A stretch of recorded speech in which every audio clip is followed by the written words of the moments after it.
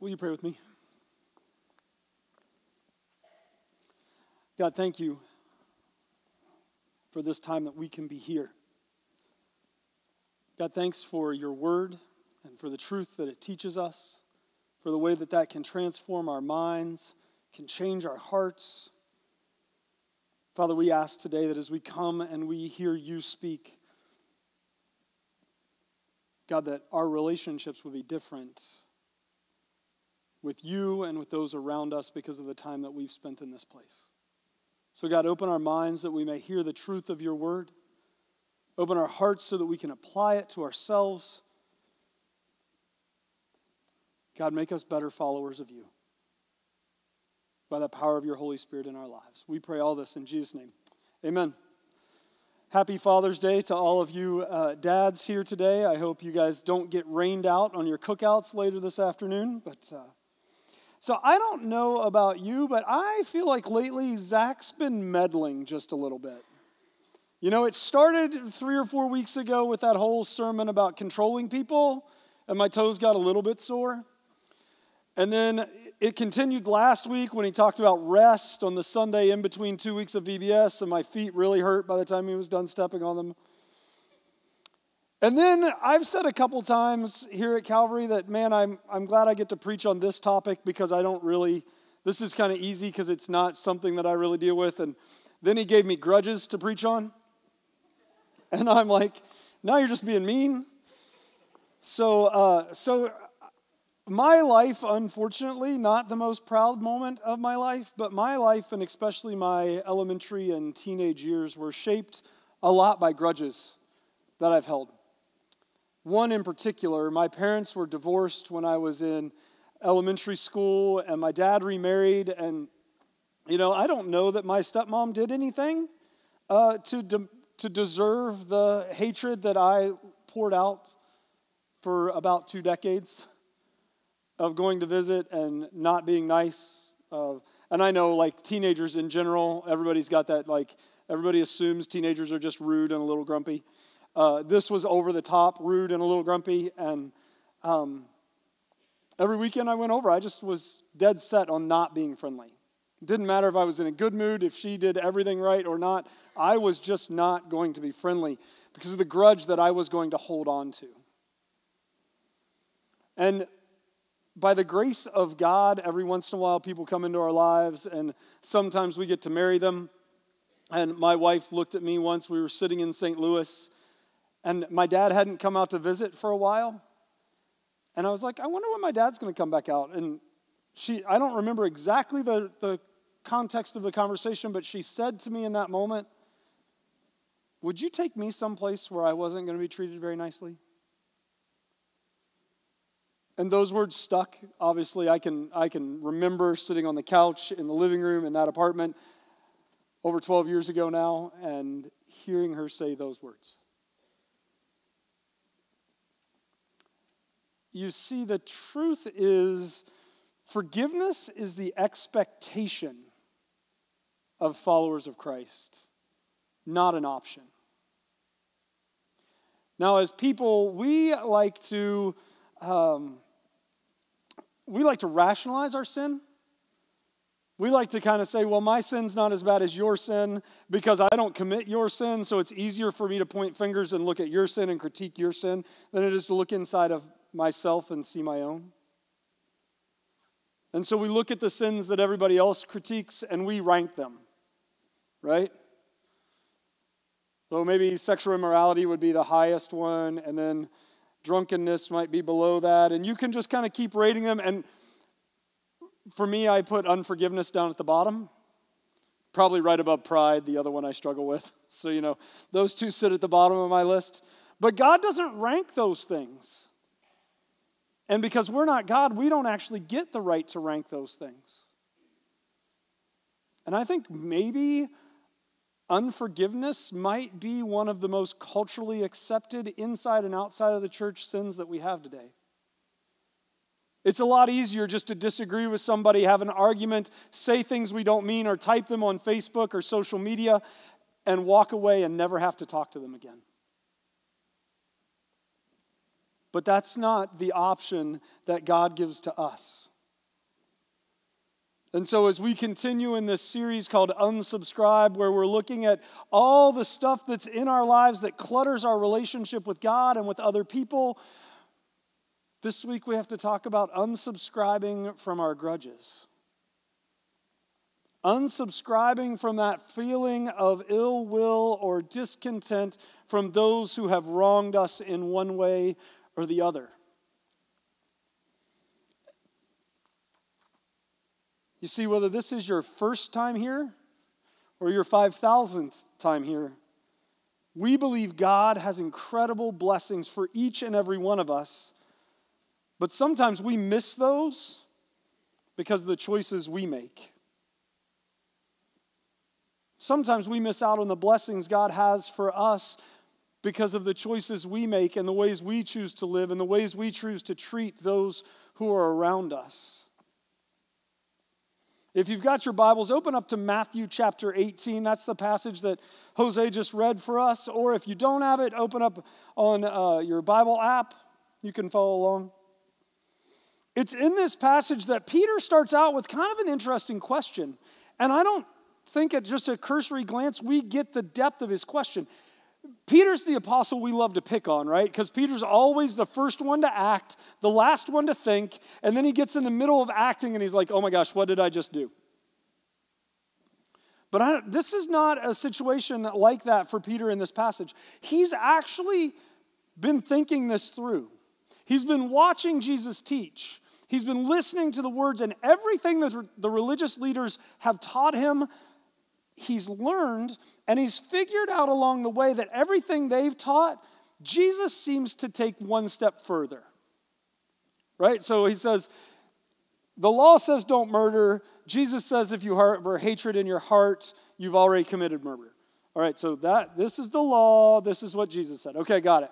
All right, so then he watches, he says, Don't commit adultery. Jesus says, if you look lustfully at a woman, you've committed adultery. All right, one step. So he comes to Jesus and he says, Jesus, how many times must I forgive someone who sins against me? Now, the teachers, uh, the, the religious teachers and the religious leaders of that time would have said, if someone commits the same sin against you three times, you have to forgive them. On the fourth, it's all over, right? You don't have to forgive anymore. You can be bitter and hate and, and angry and all that stuff, and you don't have to forgive on the fourth time. So Peter's like, three, Jesus makes it more difficult. Three doubled is six plus one, seven. I'm going to go with seven. And so he says, Jesus, how many times do I have to forgive my brother if he sins against me? Is seven good? And Jesus says, uh, No, Peter. How about 70 times seven or 490 times?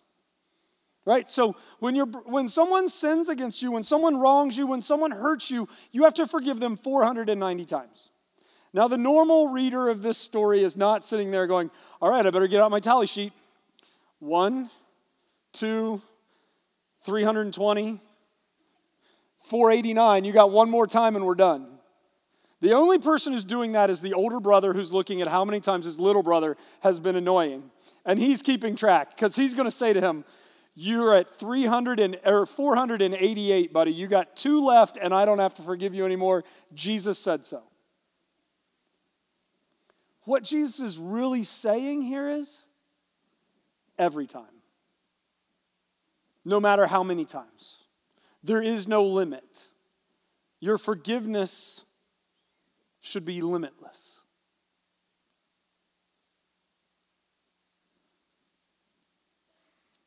Sure that paused Peter for a moment.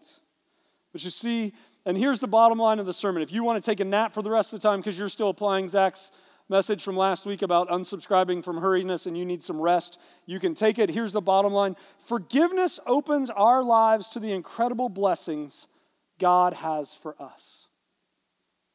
When we learn to forgive, our lives are opened to the incredible blessings that God has for us.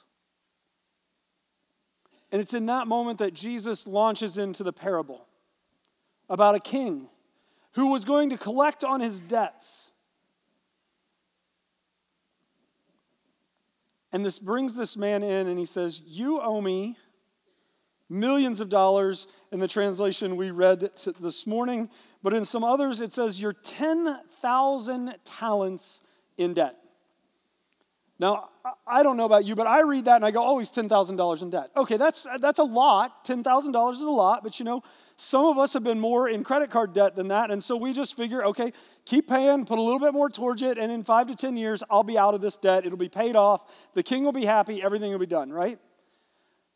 Well, that's not really the debt he's in. 10,000 talents. So we're going to do a little bit of ancient math. 10,000 talents, one talent, 6,000 denarii.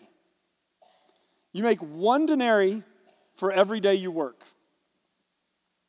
So if you start doing the math or you're good at it, this guy is 60 million days' work in debt. Or to bring that down to a number maybe we can comprehend, if you had 10,000 friends, or you knew 10,000 people, and you got them to work for 17 years for you and give them every dime they made, then you could pay off this debt. This is a ridiculous debt. It's not something you pay off. There's no way. This guy says, I just need more time. I'll pay it back every dime of it. I don't, if I took all my social media feeds, Facebook, Twitter, Instagram, I don't have 10,000 people who know me, period. Let alone that I can convince to give me their life's work for 17 years. But this guy says, I'll pay it back. I promise. Don't sell my wife. Don't sell my kids. Don't sell me into slavery. I'll pay it all back. And this king looks at him. And all of a sudden, he's struck with mercy. And he says, You know what? I'll forgive it all. You're debt free. You don't owe me a dime. Think about that. 60 million days, 60 million days worth of wages gone. A debt you're never going to get out from underneath of gone. You see, forgiveness requires, or forgiveness is based on the forgiveness we've received. It's the first thing this parable teaches us is that our forgiveness is based on the forgiveness we receive. This is the truth of the gospel at the beginning of this story. You and I are in debt to a loving Heavenly Father, a loving Creator, to a debt we could never, ever, ever, ever work off. We've broken His laws, we've disobeyed what He's asked us to do. We haven't loved Him as He's loved us. And each and every one of us is in debt. And when we come and we stand before Him, because of His Son, Jesus, who came and died on the cross, who three days rose again, He looks at us and He says, Debt paid, debt forgiven, debt wiped out. You're free. That's the truth of the gospel in my life and in your life. If we believe that Jesus is God's Son, come to live and die for you and for me, we're free. And God looks at us and says, Your debt's been paid. And it's because of that, because of that incredible debt that's paid, that Jesus looks at Peter and he says, Every time, Peter, he says in Luke, even if they do the same thing to you, even if they wrong you in the same way, seven times in one day, forgive them. So it's not really Zach that's stepping on my toes, it's kind of Jesus. And you got I can't really do anything about that, right? And so if Jesus is stepping on your toes, I'm sorry, but this is the truth of Scripture. If someone came to me and said, I'm gonna, I'm gonna offend you or I'm gonna wrong you the same way seven times today, by like the fifth one, I'm going to have a hard time saying, I forgive you. That's exactly what Jesus tells us we have to do because of what we've been forgiven. And I think we struggle with that because we forget the debt that we've been forgiven of, but we also hold on to our own selfishness. You see, forgiveness, when we choose to forgive someone, we have to let go of our selfishness, of our rights, of our desires, of the things that we want. Because this guy, in maybe what is the most unbelievable parable Jesus tells, gets this incredible debt forgiven, walks outside the king. I would still be like jumping up and down. I'm debt free, I'm free, I'm free. He walks outside, and up comes a buddy who owes him a few thousand bucks. Like, and that's like not, not millions, no, no ancient math to do. He owes him a few thousand dollars. And he grabs him by the throat and demands payment. What? How? What? Hold on, time out. This has to at least be a couple weeks, right? Like he couldn't have literally walked out of just being forgiven and demand payment. No, Jesus says he literally just walked out of the king's presence.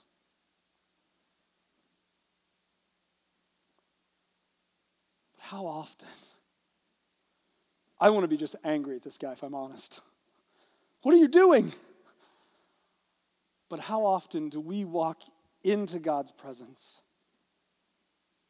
Pray, talk to God, ask Him to forgive us of the things we've done against Him, close our Bible, say amen, walk out of church, and demand our right from somebody else. You see, when we remember what we've been forgiven, we're able to set aside our selfishness. We're able to let go of that. And when the Holy Spirit comes in and lives in our lives, it changes our perspective.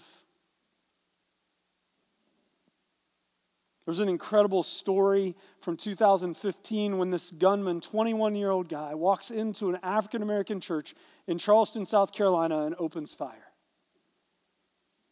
killing nine people. And when his day in court came, the members of that congregation went to the courtroom. And I think we would read this and think, oh, well, they're going to the courtroom to get what's due them, to let him know how much he's taken from them. One by one, they stood up to testify and let him know that they forgave him. And maybe one of the most impactful statements was from Nadine Collier, who stood up, and the first thing she said is, I forgive you. I'm the daughter of 70 year old Ethel Lance. You took something very precious from me. I'll never talk to her again. I will never, ever hold her again. But I forgive you, and I pray God has mercy on you. How would that change the way those outside the church, those who want nothing to do with Jesus, looked at those of us inside the church? If stories like that were what were most common. I admit I struggle with grudges, but I think it's way too common inside the church too. I think if you've been in the same church for a long time, there's probably somebody who maybe you used to sit in the same section with or even in the same pew with who now sits on the other side of the sanctuary. Or who you attend a different service so you don't have to see. Or you quit volunteering and helping out in a ministry because that relationship was so fractured, it was too painful to walk back into. Or worse yet, maybe they've left and went to another church because it's just too hard. And an unbelieving world who needs to know the love of their Savior looks in on us and says, I don't want anything to do with that. And I'm not sure I blame them. You see, church, we have a responsibility to remember what we've been forgiven and to allow that to motivate us to set aside our own selfish desires and our own selfish wants and to forgive those around us.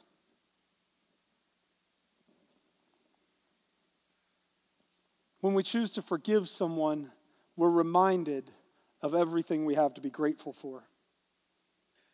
When we give up our selfish desires and we forgive those who wronged us, gratefulness begins to take root in our heart and our lives. You see, that's exactly the opposite of what happened in the parable that Jesus tells. This man gets forgiven and he goes out and he's not grateful.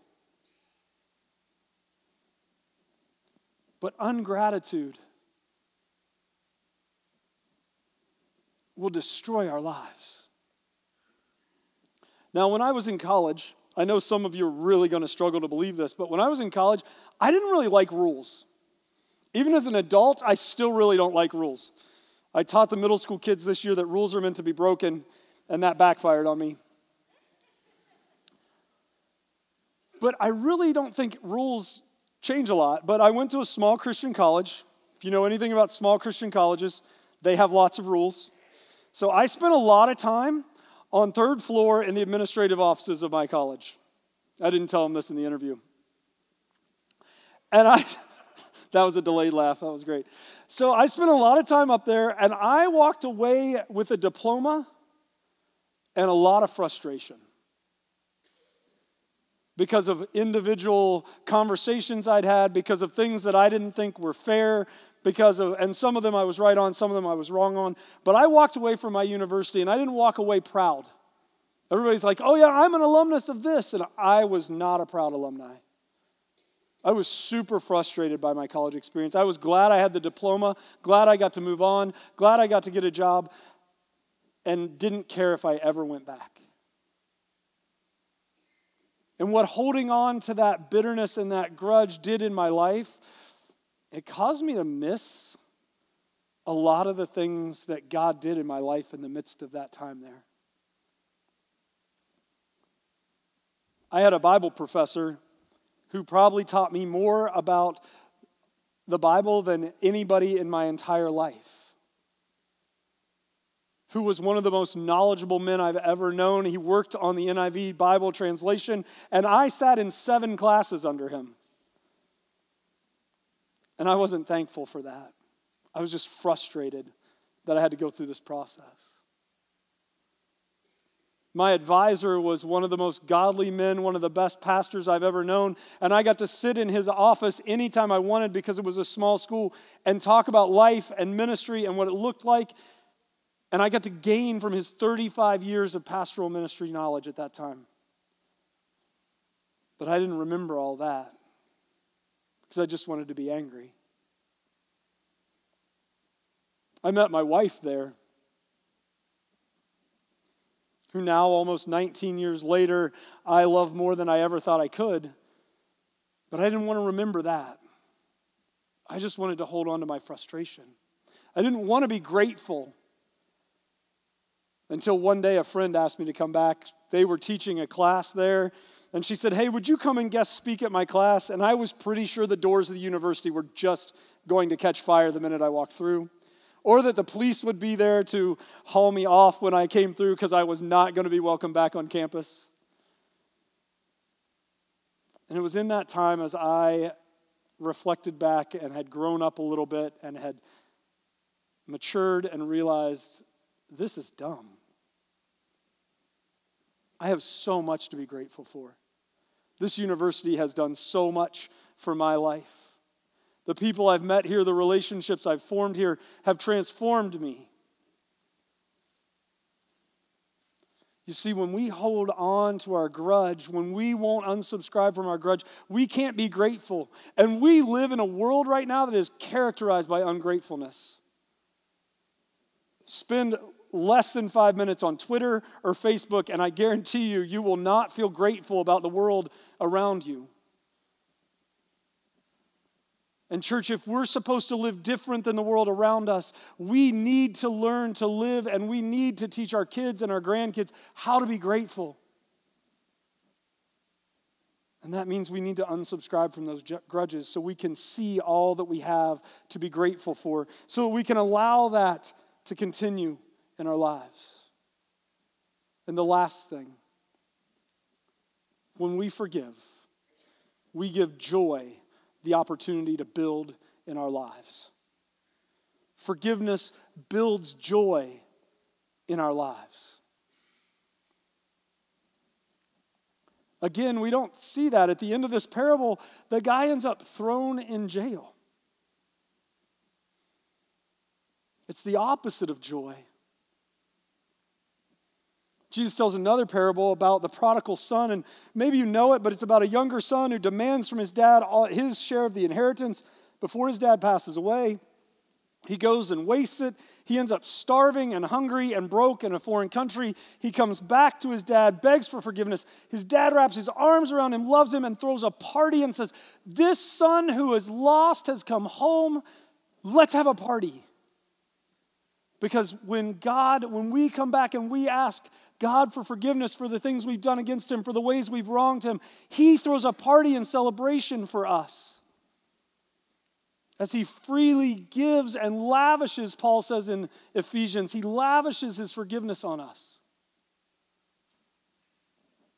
And as he does that, the older brother stands arms crossed from a distance. And he's angry. He's angry because, according to him, I've served you and done everything you told me to, Dad. And yet you never even gave me a goat for a party for my friends. I mean, like literal temper tantrum. I'm like, was he stomping his feet? He's not going to have a party. He's not going to celebrate. That's the kid who demanded everything he got. But what he's forgotten is that everything he sees is his. So, because of his frustration with his dad, because of his anger towards his brother, he chooses to stand outside the party and pout and be angry, as opposed to going in and celebrating and enjoying what's happened and enjoying the forgiveness that his dad has given to his brother. Joy is not something that comes like that, but it builds. Think about my story with my stepmom. So, in that night when Corey said, Would you take me any place where I was going to be mistreated? I made a decision in that night that I was going to let go of this grudge. And it didn't go away overnight. You don't get rid of decades of bitterness and anger and frustration overnight. But it started by buying a Christmas gift. It started by making sure when we went home, and that year we were going to my parents' house, making sure my stepmom had a gift from us underneath the Christmas tree. And I'll, I will not forget it, and I don't know if she still remembers it or not. She can tell me when she watches this on YouTube that when all the Christmas got, gifts got opened and there was one left, it was hers. And there was surprise on her face at the gift that she received. But over the years from that moment on, there have been a lot of moments of joy as I've watched her be a grandma to my kids. In a different way than my mom is, but still grandma. And we've sat around the table and we've played board games and card games and we've shared stories and we've enjoyed being around each other. And joy has begun to build as I've chosen to let go of this grudge, as the Holy Spirit has worked in my heart and allowed me to forgive.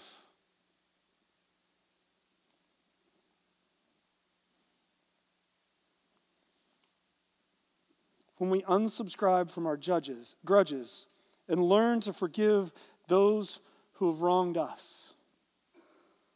Forgiveness opens our lives to the incredible blessings that God has for us. Blessings like joy and gratefulness and selfless living. So as you sit here today, is there anyone in your life you need to forgive? Is there a grudge or unforgiveness that you've held on to for years because you felt like you had the right to? See, I think it's really easy for us to forget how much we've been forgiven, how much we've been loved, how deeply in debt we were to the God who created us. But the truth is, each one of us has been forgiven a debt we could never, ever pay. So, the real question for you and for me is will we allow the Holy Spirit to work in our lives so that we can set aside our selfishness, live with gratitude and joy, and unsubscribe from our grudges and forgive those who have offended us? Will you pray with me?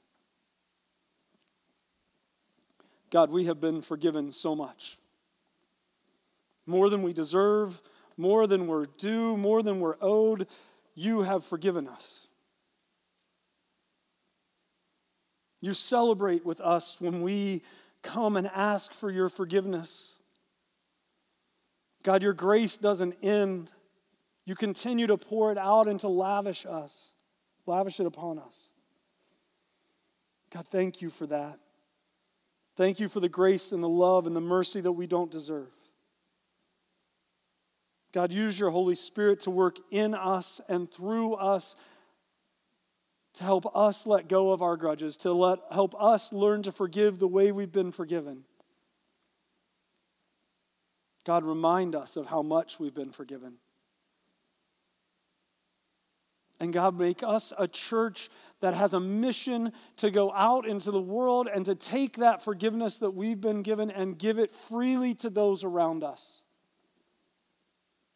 so that they can know there's a God who loves them, a God who designed them, and a God who wants to be in relationship with them.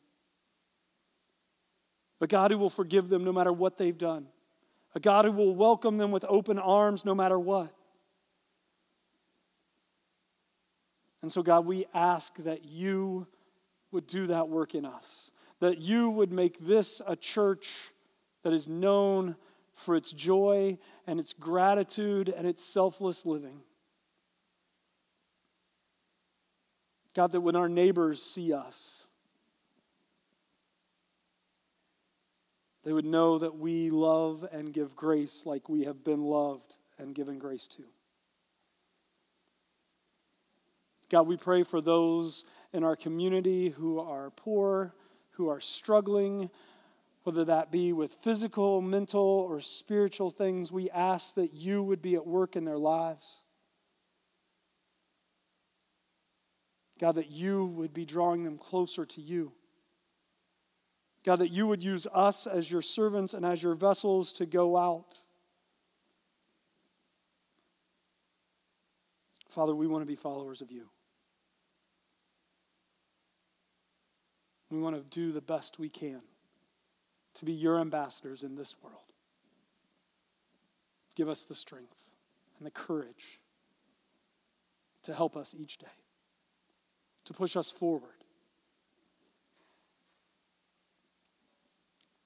Would you pray with me now the Lord's Prayer? Our Father, who art in heaven, hallowed be thy name. Thy kingdom come, thy will be done, on earth as it is in heaven. Give us this day our daily bread, and forgive us our trespasses, as we forgive those who trespass against us. And lead us not into temptation, but deliver us from evil. For thine is the kingdom, and the power, and the glory, forever and ever. Amen.